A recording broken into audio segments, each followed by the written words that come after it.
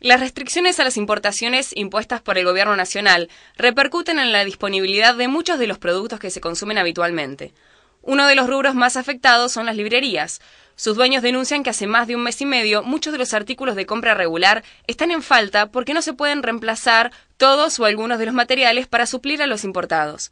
Los comerciantes explican la situación y dan cuenta de las repercusiones para la industria y consumidores. Sí, está faltando mucha mercadería. Sí. ¿Qué es lo que más falta?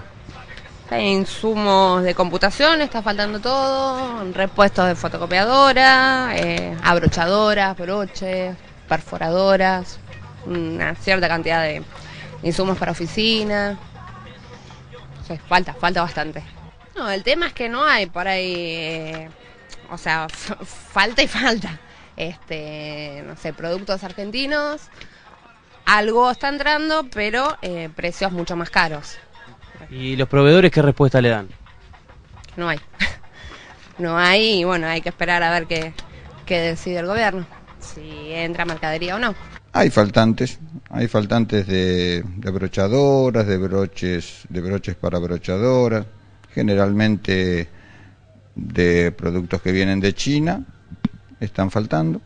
Este, hay faltantes, por ejemplo, de biblioratos que tienen un pegamento que lo importan y que no lo reciben, entonces no tenemos entrega de biblioratos de buena calidad.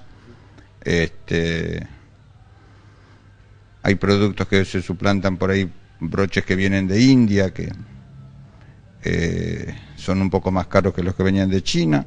Yo sé que por ahí algunas cosas se pueden reemplazar, otras no. Este, los registradores, ya te digo, según aducen, es faltan pegamentos que son importados y que no los pueden terminar.